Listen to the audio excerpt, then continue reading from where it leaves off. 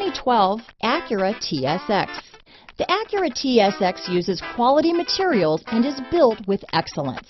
It comes equipped with a spacious interior and an impressive list of standard features. This vehicle has less than 70,000 miles.